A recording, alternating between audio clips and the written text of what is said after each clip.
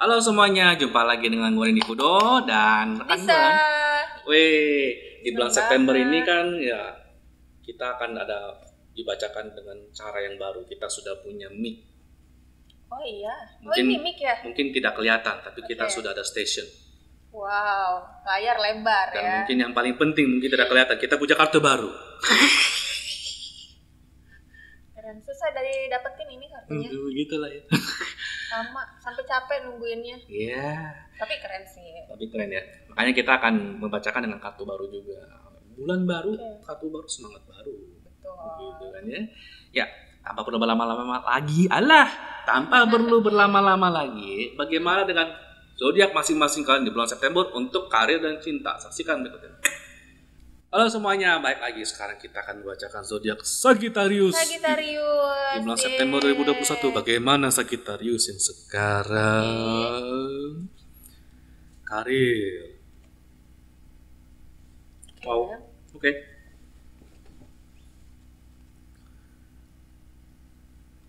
Hmm.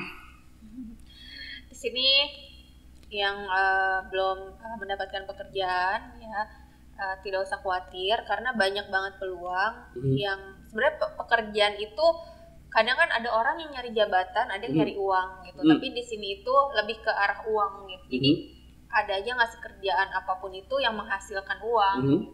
Contohnya kayak misalkan eh, jualan-jualan apa gitu atau bantu-bantuin perusahaan apa tiba-tiba ya kayak gitu menghasilkan uang. Gitu. Yep. Ini kayak mungkin freelance kali ya masih Yep, yang yep. masih yang sementara gitu tapi eh, ya sudah bersyukur banget lah. Oke.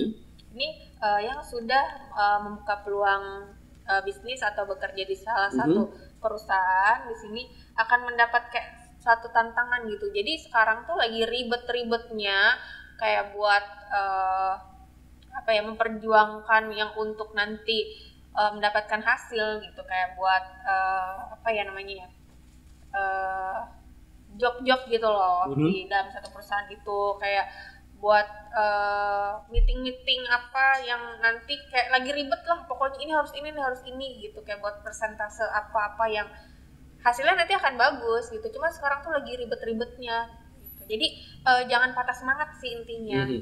gitu karena atasan tuh lagi pada ngelirik juga gitu Oh. banyak persaingan gitu dari perusahaan-perusahaan lain tuh kayak ngelirik wah ini bagus nih ini bagus nih kita ambil ini aja gitu nah, kamu tuh lagi dilirik di situ Nah, lucunya sih bener sih. Jadi Hmm. kayak Scorpio ini nih, eh Scorpio kan. Sagittarius ini agak-agak agak lucu. Sagittarius itu kan badannya kan manusia, hmm. belawahnya kuda. Kalau dari Waduh. zodiak ya. Artinya Sagittarius ini punya ciri khas dia termasuk satu zodiak saja ya yang bisa selain multitasking tapi dia dikenal Benar. sebagai orang yang bisa multitasking di dua atau lebih hal yang berbeda jauh. wah hebat banget gitu Jadi bisa dikatakan misalnya Sagittarius nyampe itu ya bisa ngerti masak, tapi sekali misalnya Sagittarius bisa bisa ngerti hal masak, Hmm. ta- tapi juga sekaligus bisa jadi IT yang bagus. wah Jadi dua hal yang sekaligus tuh nggak ada nggak ada relasinya gitu, dia tuh bisa ngertiin semua itu. oke Nah kalau tadi seperti yang Disa bilang soal pekerjaan buat yang masih belum bekerja ini emang ada peluang. Iya. Apa pun itu Hmm. kerjain. Karena memang peluang ini sekilas memang tidak mungkin bukan yang Sagittarius pelajarin betul bukan yang peluang yang Sagittarius pernah kerjakan sebelumnya. Justru Sagittarius itu ahli dalam street smart atau istilahnya tuh belajar di lapangan secara langsung. oke Makanya ini potensinya bagus nih kalau ada peluang udah ambil aja dulu Ambil aja sambil dulu, pelaj- ambil. sambil kerjain Betul. sambil belajar. Itu bisa. Sementara tadi kan Nisa bilang ini ada banyak kesibukan Hmm. buat teman-teman Sagittarius yang kantor maupun yang punya usaha ada kesibukan banyak yang mesti dikerjain dalam waktu bersamaan. Kalau aku bilang itu adalah salah satu kelebihan Sagittarius di mana dia cenderung kuat mental dalam menjalankan banyak hal dalam waktu bersamaan dalam satu waktu. oh Jadi keren banget ya Sagittarius misalnya hari ini kalau yang kerja ya mungkin dia tuh Nah, bisa kerja benar. sesuatu yang berhubungan sama HRD, tapi sekaligus dia juga bisa berhubungan dengan marketing. Dia bisa kerja sekaligus tuh. Hmm. Nah yang kayak gitu-gitu kerjain aja.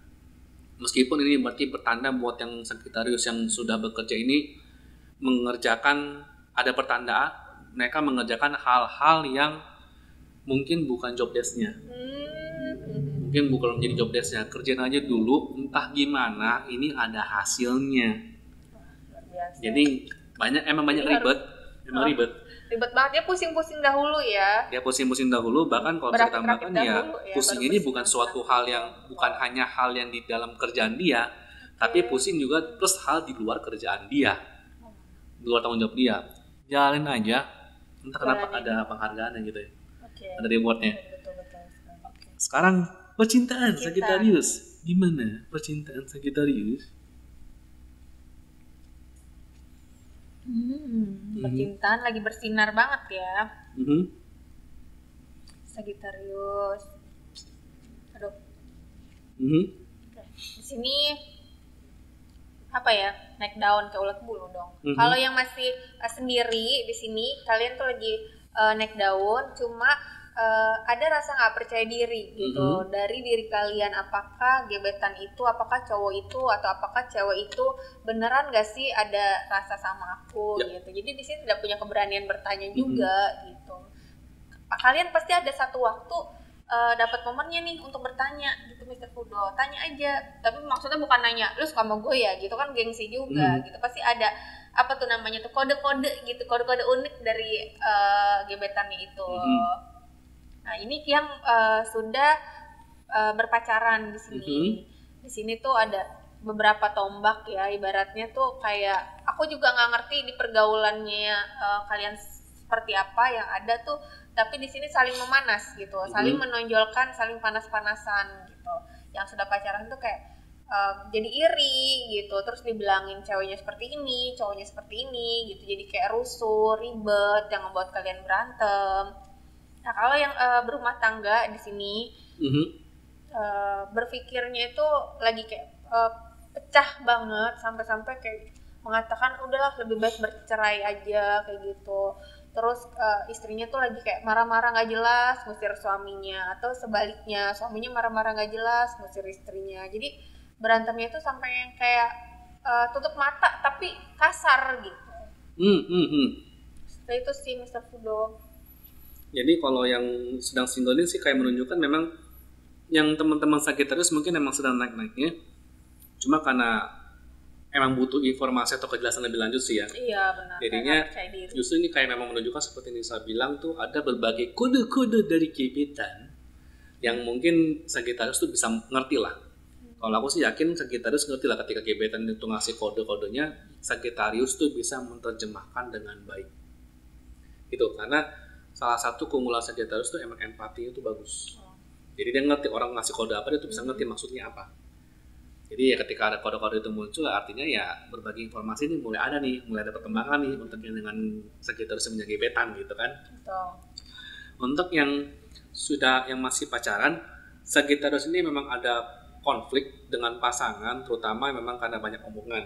benar Tapi kalau kau boleh tambahin mungkin lebih karena kerjaan, karena kerjaannya karena kerjaan si Sagittarius sendiri atau kerjaan di pasangannya Sagittarius, Benar. kemungkinan besar kalian memang waktu interaksinya terbatas. Hmm. Akibat dari waktu interaksi antara Sagittarius dengan pacarnya terbatas, akhirnya omongan berbagai masukan, omongan, gosip-gosip dari sekitarnya itu malah jadi kedengeran, malah Iya. jadi muncul.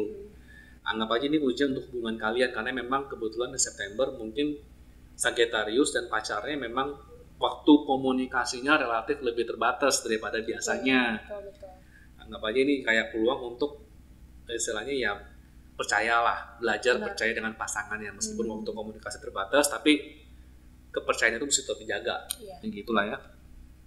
Sama untuk yang sudah berkeluarga kan, kan kartu dua pedang ini kan memang seperti yang saya bilang kan ada konflik di mana konfliknya itu bisa berujung ke omongan cerai, omongan Iya, pisah dan kawan-kawan Sedih. Emang menyedihkan tapi justru di sini kayak menunjukkan Sagittarius ini kan cukup karena ada empati ini kan Sagittarius ini kan tipikal yang cukup emosional ketika ada masalah. Oleh karena itu kartu dua pedang ini sih kayak menunjukkan telaah masalah rumah tanggamu dengan logika. Telaah masalah rumah tanggamu walaupun nanti ada masalah rumah tangga Hmm. tolong telaah tolong teliti dengan logika dan fakta yang ada bukan dengan asumsi, bukan dengan gosip, bukan dengan katanya. Oke. Soalnya selama ini ternyata konfliknya ini yang aku, yang aku lihat sih konflik rumah tangga yang teman-teman yang Sagittarius ini kema- kemungkinan besar itu disebabkan oleh katanya. Oke, katanya bukan ya. berdasarkan fakta, Kata-kata bukan ya. berdasarkan logika, tapi katanya kata si Katanya. ini, kata si itu, Hmm. ya istilahnya ya kan kalian menjalin rumah tangga kan bukan tetangga, bukan teman, bukan sahabat. Betul, gitu betul kan. banget itu. Kalau rumah tangganya kenapa-kenapa, mereka mah tinggal komentar doang, tapi yang sengsara kalian gitu kan. Yang sedih Jadi kalau kalian, mereka mau komentar doang. kembali lah. Pasti ada jalan terbaik. Pasti ada jalan terbaik dan satu dan salah satu jalan terbaiknya adalah di sini justru di bulan September sangat disarankan untuk percaya sama pasangannya untuk sekretaris sekretaris yang sudah punya pasangan ya percaya sama pasangannya apa pun omongan orang di luar Betul. jadi seperti itu sih ya. Oke sekian untuk Sagittarius bulan September 2021 gua Randy Fudu. Dan Lisa, ingat untuk like, comment, share dan subscribe. Thank you. Dadah.